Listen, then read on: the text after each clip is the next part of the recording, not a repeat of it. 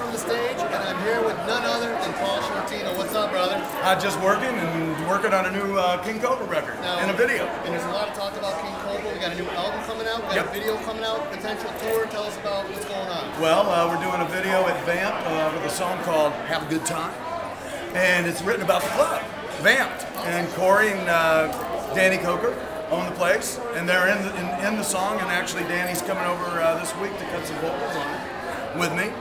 And it's just about having fun. So if you get to Vegas, stop and say hello. We got great rock, we got a party and great rock and roll with some of the lines in the song. It's really rocking, and uh, we're finishing up the album. The whole band will be here. We're actually be uh, performing a few tracks at the club that night. Tell us about potential touring.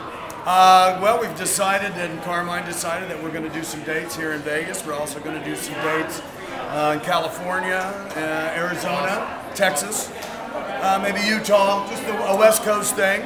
And uh, also, there's a record coming out in October with this guy, uh, uh, Javier Vargas, that I've been working with with Carmine. And uh, we did a remake of If You Think I'm Sexy. He wrote that with Rod Stewart. And Pat Travers is a guest appearance on it. He did some guitar work, and I think Tony Franklin played the bass on it. And uh, we got some rap in it. It's a heavy version of If You Think I'm Sexy. And that comes out in October with uh, Glenn Hughes is on this record. It's a bunch of other artists. Uh, Joe Bonamassa, I can, uh, Jack Bruce. It's a great record.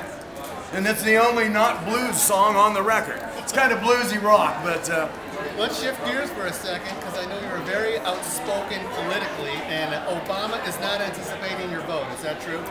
well, I'm an independent person, you know what I mean? And uh, I would say, uh, Does Does Romney have your support? Is that the direction? Uh, well, I, I just uh, I want to go what's good for the country, and I would like to see the government shrink a little bit. I think they're just gotten too big. I, I you know, and I I don't think the founders of our country, when they wrote the Constitution, expect people to make a career out of politics. You know, so I wish that some of the Congress people and senators would only only had a certain amount of term. You know what? I mean, I, I think uh, everybody should do what's good for the country. I think Romney, because he's a good businessman, he's made a lot of money. Uh, he's, I think that's what this country needs is somebody to get the economy going. I think Obama had a good, had, had some good plans and issues, but uh, I think we need to get somebody in there that, to get our economy rolling, get people back to work. That's all. Now, you were in the book Tales from the Stage. Thanks for your participation. Oh, I love it. Now, looking back at it, was there any question in there that you wish you would have answered differently, or maybe even not answered? No. You, you were pretty explicit with your answers. No, I loved everything you learned. Put it down. I loved how you wrote it down. Really.